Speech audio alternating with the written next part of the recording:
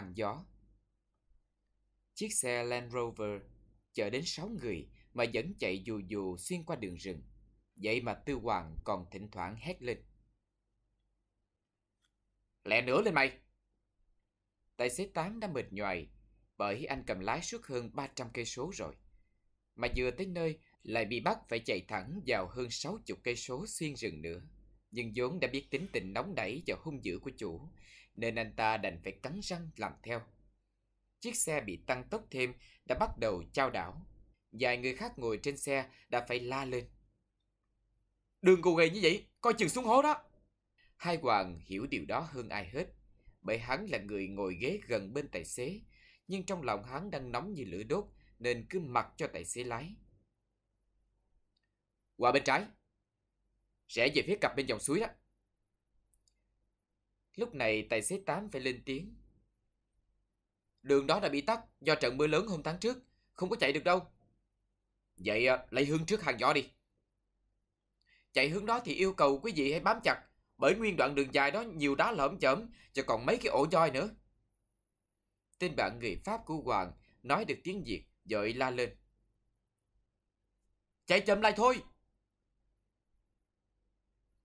Tám hơi bớt ga, nhưng quả đúng đó là đoạn đường quá xấu, nên chiếc xe cứ dằn lên từng hồi, mấy người ngồi sát hai bên, chút nữa là rớt xuống mấy lần. Thế vậy, Tư Hoàng bèn ra lệnh. Chạy chậm lại, nhưng đoạn này có khả năng gặp hổ, các tay súng phải sẵn sàng.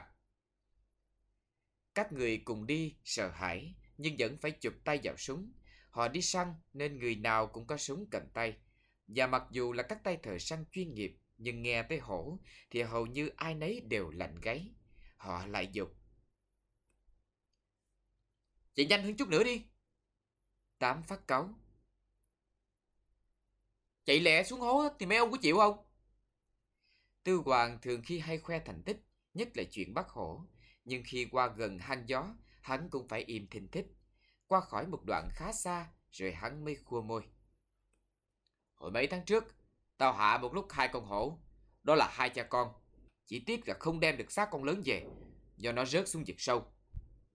Một hổ con thôi, mà da nó lột để phòng khách, ai vào nhìn cũng phát mê, đẹp hết ý luôn. Tư Hoàng có máu sát thú, nên mỗi lần nói đến chuyện săn bắn giết thú là hắn như say máu. Tôi bắn hai con hổ đó ngay trước cửa hàng gió, nên mỗi lần đi ngang qua đó thì y như rằng tôi mường tượng ra lũ hổ ngồi ở đó. Tên Tây nói tiếng Việt là một tay thợ săn từng nhiều lần săn mảnh thú ở châu Phi, nên nghe nói hắn ta cũng say mê. Giá mà lần này gặp được mấy con còn lại thì đã biết mấy. Tư Hoàng hào hứng. Mà đang dục đi lẹ là bởi lý do đó. Sắp tới giờ hoàng đạo rồi. Giờ hoàng đạo là gì? Tên Tây hỏi, Tư Hoàng trả lời. Thì giờ lũ ác thú đó ra, đêm nay không trăng, nên bọn hổ ra sớm, mình phải phục chờ sẵn. Chứ nếu mà chậm chân á thì... Mấy tay còn lại ngầm hiểu câu nói bỏ dở là ý gì, nên lại lên tiếng. Vậy thì mình phải tới nơi trước 6 giờ, rồi còn ăn uống, chuẩn bị láng trại nữa chứ. Tên Tây xì một tiếng dài. Tụi bay chỉ mê ăn, mê ngủ thôi. Tao thì nghe tới mùi hổ là không cần ăn cũng được. Tao sẽ phục ngay khi nó vừa tới nơi. Tư Hoàng chịu cách của bạn mình. Săn được mồi thì sướng hơn ăn. Như bữa đó, tao phải nhìn đói từ nửa trưa tới hơn 12 giờ khuya mới hạ được chúng nó đó. Cuối cùng thì cũng tới mục tiêu. Tư Hoàng xuống xe và dặn. Thằng Tám nếu buồn ngủ thì leo lên tròi mà ngủ một giấc. Nhớ phải rút cầu thang, nếu không thì ông 30 tới thăm mày đó. Tài xế Tám không cần bảo lần thứ hai đã chạy ngay lên căn nhà sàn mà Tư Hoàng đã cho dựng cách đây khá lâu để làm chỗ trú chân khi lên đây săn bắn. Tuy chỉ là nhà sàn nhỏ nhưng đầy đủ tiện nghi, ngủ nghỉ, kể cả căn phòng nhỏ dành cho cầu tư dẫn gái theo để hú hí nữa. Cả bọn đang chuẩn bị đi vào rừng thì chợt nghe từ trên chòi. Tám tài xế hét lớn. Ai trên này cậu Tư ơi? Tư Hoàng giật mình. Thằng Tám la phải không? Chuyện gì vậy? Bọn chúng chưa kịp chạy lên thì Tám đã tuôn chạy xuống, rung lập cập. Có, có, có, có xác chết, cái xác... Khi mọi người chạy lên thì sửng sốt trước xác một cô gái nằm trên giường mà thường khi tư hoàng hay ngã lưng. Hắn hốt quảng. Coi, coi ai vậy? Khi bọn kia lật mặt cô ra chỗ sáng thì tên Tây và Hoàng đều sững sờ. Một giai nhân! Đúng là cô gái đẹp mê hồn, đến nỗi tư hoàng vốn sở hữu trong tay hàng tá gái đẹp mà cũng phải ngất ngây mê đắm. Hắn dục đám bộ hạ. Coi cổ còn thở không? Trong lúc mấy tên vừa cúi xuống định sờ lên mũi, thì đột nhiên có một tiếng gầm gian lên, rồi một cái bóng to như con bò từ ngoài lao vào nhanh như ánh chớp. Bạch hổ! Tư Hoàng chỉ kịp kêu lên một tiếng rồi ngã phịch xuống sàn. Cả mấy tên kia cũng để văng súng ra xa. Ngã nằm sắp lớp, và cũng nhanh như khi lao vào, con cọp lông trắng như tuyết ngoạm ngang người cô gái đang nằm im, tha đi, chỉ trong chớp mắt đã không còn thấy bóng dáng. Lúc bò dậy được, Tư Hoàng quát lớn. Bắn nó! Súng hắn bị văng ra, chỉ có tên Tây Pao là còn giữ được súng trên tay. Hắn nhắm hướng con cọp vừa phóng ra mà nhả đạn. Loại súng săn hai nòng bắn đạn chài nổ rất lớn, nên sau hai tiếng nổ thì chim chóc trong rừng gần đó dục bay lên kêu hoàng quát. Dĩ nhiên là không làm sao bắn được con hổ đã chủ động chạy trước. Nhưng có điều lạ là sau khi siết cò bắn viên đạn thứ hai xong thì tên Pao bỗng ngã lăn ra, nằm bất động. Tư Hoàng hốt quảng chạy tới đỡ anh Tây dậy hỏi. Có sao không Pao? Tòa bị thương hả? Tên Pao không còn nói năng được gì, mặt mày hắn tái xanh, người lạnh ngắt. Tư Hoàng phải dục. Mau lấy thuốc đem ra đây.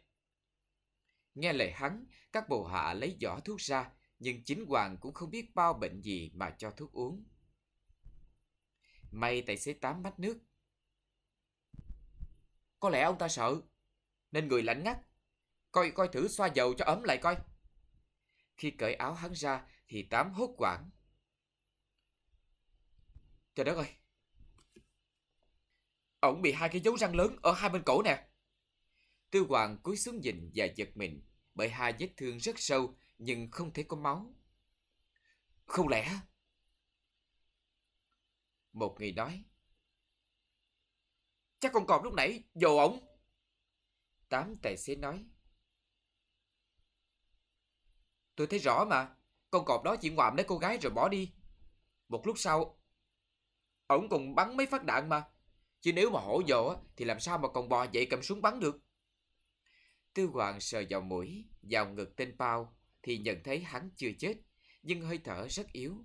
Hai vết thương lúc đầu không chảy máu, nhưng khi lấy cồn sát vào thì từ trong hai lỗ vết thương thì từ trong hai lỗ vết thương tuôn ra hai tia nước giống như tia buồn đen. Từ chất bụng đen tuôn ra đó toàn mùi tanh tưởi khó chịu. Mà vừa ngửi thì Tư Hoàng la lớn. Tanh giống như mùi cọp vậy. Hắn bước lui ra, nhìn tên bao, rồi bắt rùng mình. Hình như hắn đoán được điều gì đó chẳng lành. Tài xế tám hỏi. Mình có phải đưa ông bao về thị xã không? Tuy hỏi chứ thật ra trong lòng Tám đang ngán ngẩm lắm rồi. Bởi giờ này mà lái hơn 60 cây số đường trở về thị xã Ban Mê Thuộc thì chắc anh ta gục giữa đường mất. Cũng may, Tư Hoàng nói. Hình như vết thương ra hết máu bầm thì anh ta có vẻ tỉnh lại rồi. Lúc ấy, quả nhiên Pao mở mắt ra và hỏi khẽ. Nó đâu rồi? Hoàng mừng rỡ. Toàn tỉnh lại rồi. Không sao, nó chạy mất và mang luôn cái củ nợ kia đi. Đỡ cho mình. Chợt nhớ vết thương ở cổ của hắn, Hoàng hỏi. Toàn có thấy đau ở vết thương không? Có cần chở đi về tỉnh không? Bao lắc đầu, tỏ ra bình thản. Không có gì phải lo. Có lẽ lúc nó nhào qua chục cô gái, móng vuốt của nó đã làm bị thương Moa thôi. Chỉ là vết thương nhỏ. Nhưng khi đưa tay lên sờ chỗ vết thương, hắn có vẻ lo lắng. Hơi đau, và có gì đó khác thường. Moa hơi bị lạnh. Hoàng phải lấy dầu và thuốc chống nhiễm trùng cho hắn, vừa xoa vừa uống và băng bó vết thương lại. Nhìn đồng hồ tay, hắn lại dục. Mình đi săn. Không là trễ rồi. Hoàng lo lắng. Con hổ trắng mà về tới đây tha người đi thì không đơn giản đâu. Mà tính bữa nay mình khoan đi săn đã. Phải tìm hiểu xem cô gái kia là ai mà vào nằm ở tròi này. Và con hổ tại sao chỉ tới đây để tha cô ta đi mà không làm gì cả cái đống người chúng ta đây. Giọng của bao không sôi nổi và phách lối như trước đây. Hồ dữ cũng có nguyên tắc giết người của nó. Có thể từ trước đó đã nhắm cô nàng ấy rồi. Hoặc cô ấy làm mồi dự trữ của nó để trong tròi này. Nó sợ chúng ta giành, nên tới đem đi nhanh đấy mà. Nghe theo lời hắn, Tư Hoàng đành phải hoãn chuyến đi săn dự trù ngay đêm đó. Bọn họ bày cơm ra ăn trên sàn nhà. Nhưng thay vì hách dịch như thường khi, lúc ăn Hoàng không cho uống rượu, cũng cấm không được bước xuống khỏi sàn. Lúc ăn uống, hắn còn ra lệnh rút cầu thang gỗ lên và dặn dò. Muốn đi vệ sinh á, thì cứ từ trên này đi dội xuống. Vậy mà nửa đêm hôm đó, bỗng dưng tên Pao biến mất. Lão tiểu phu y lục quá đổi mừng rỡ khi thấy cô gái mở mắt ra. Sống! Sống rồi vàng ơi! Cô nàng bật ngồi ngay dậy, ngơ ngác. Sao tôi lại ở đây? Ông là... Y lục nói tiếng kinh không giỏi lắm, nên cũng lúng túng. Tôi, tôi cứu cô. Cứu đem về khi cô gần chết. Mà sao cô bị... Ông ta không dám hỏi thẳng ra, càng khiến cho cô gái thắc mắc. Tôi bị làm sao? Tôi đang đi du lịch với gia đình mà. Sao bây giờ ở đây? Ba, ba má tôi đâu? Ông già lắc đầu. Khi gặp cô thì chỉ có một mình. Cô nằm ngay chỗ hang cọp. Nếu không cứu kịp thì chắc, chắc gì con? Cô gái tỏ ra sợ hãi.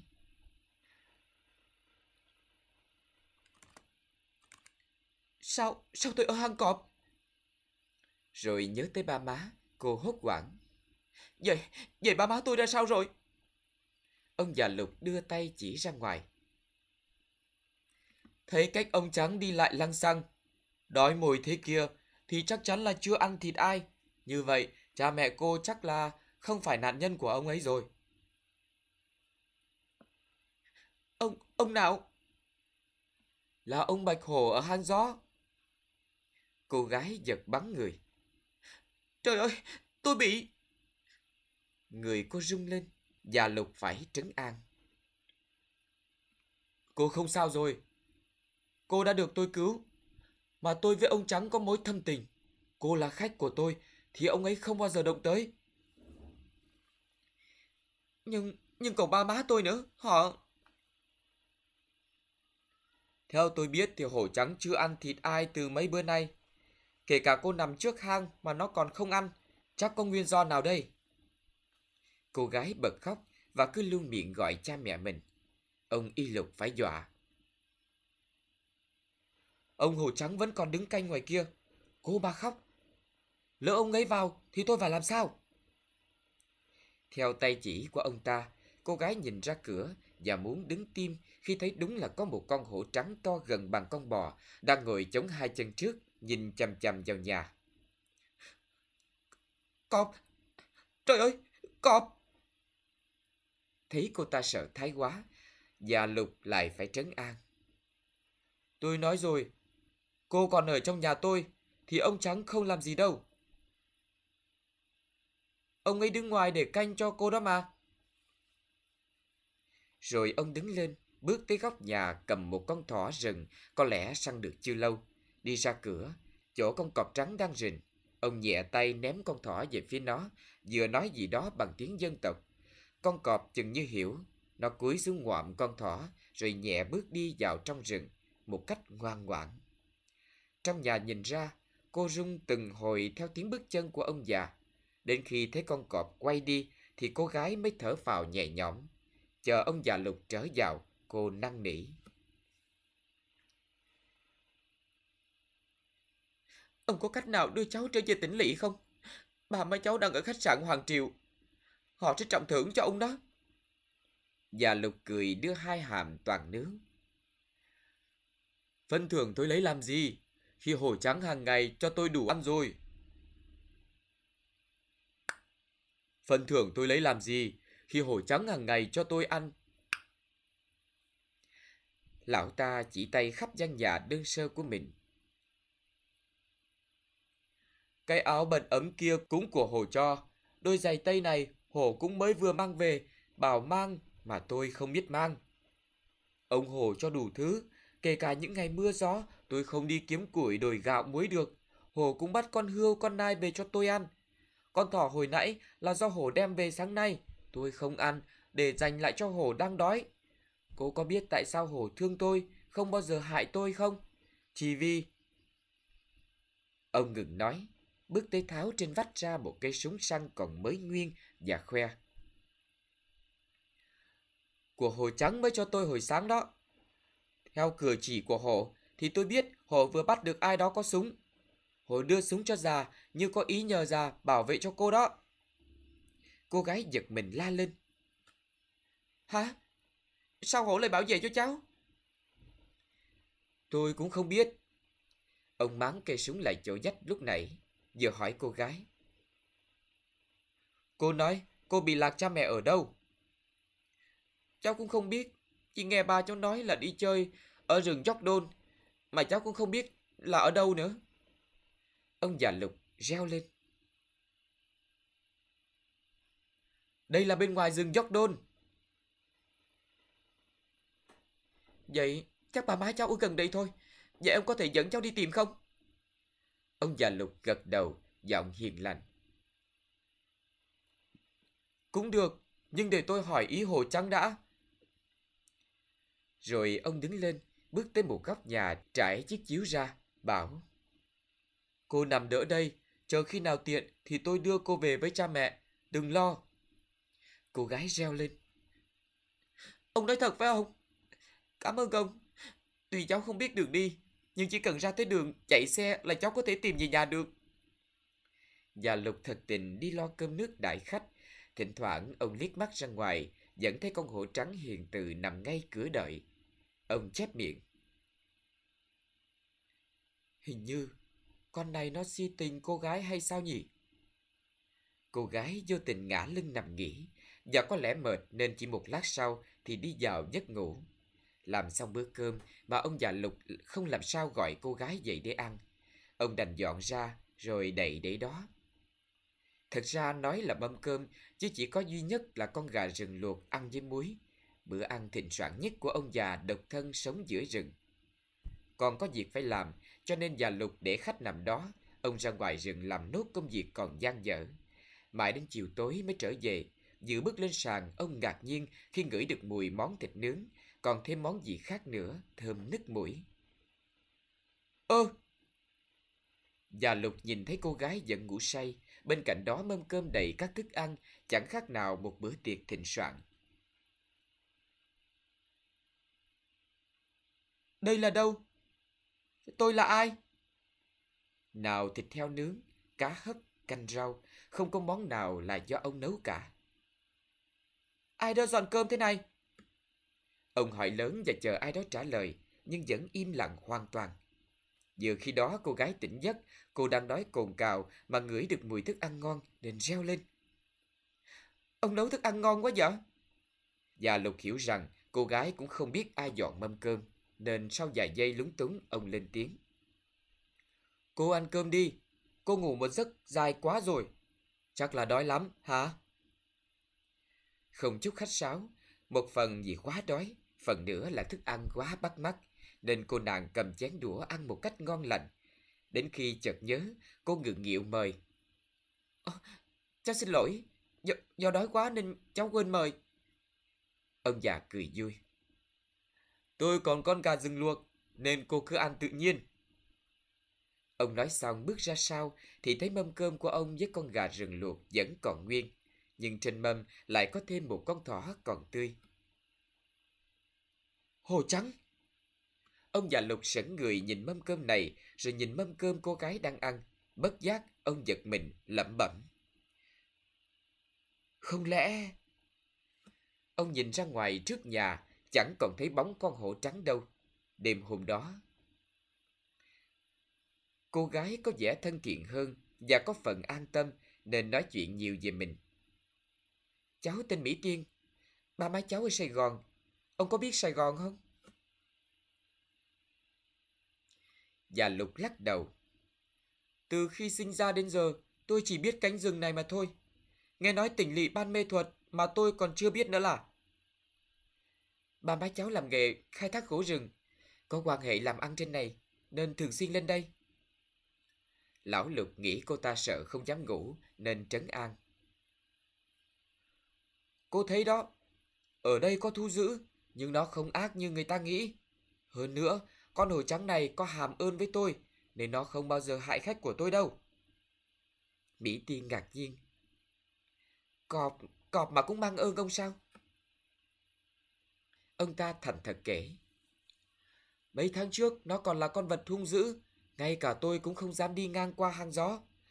Nơi vợ chồng con cái nó trú ngụ. Cho đến một hôm, bỗng có tiếng súng nổ vang.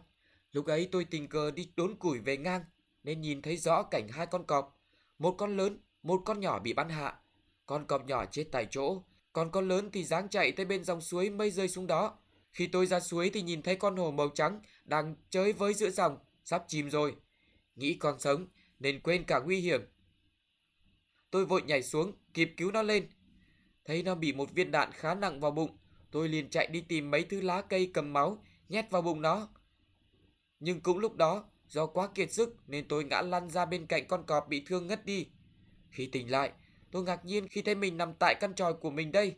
Trung quanh có đầy cả thức ăn mà tôi đoán là của con hổ trắng tạ ơn. Tôi đã cứu được con hổ như vậy đấy. Và từ ấy, nó tỏ ra thân tình với tôi như người một nhà vậy. Ông ngừng lại một lúc rồi tới tiếp. Hình như cô bị con hổ đó tha đem về đây, chứ chẳng thể nào một mình cô lạc vào tận đây đâu. Mỹ Tiên hốt hoảng. Sao, sao con hổ không ăn thịt cháu? Ông già thở dài. Tội nghiệp. Kể từ khi bị nạn rồi sống lại thì con hổ trắng đó luôn có hai thái cực. Một là thật hung dữ, hai là thật hiền từ. Có lẽ với người như cô thì nó hiền lành tử tế. Chỉ giúp đỡ thôi. Tôi nghĩ dọn cơm cho cô ăn chính là... Ông ta kịp dừng lại, không nói hết ý, nhưng cũng gây tò mò cho Mỹ Tiên. Ông nói ai dọn cơm cho cháu ăn?